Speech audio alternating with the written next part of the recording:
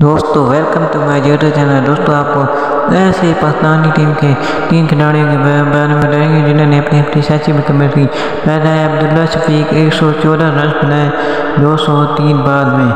दूसरा है इमाम हक, जिन्होंने एक सौ इक्कीस रन बनाए दो सौ सात बाद में। और स्ट्राइक रेट है अठावन इशारिया पाँच।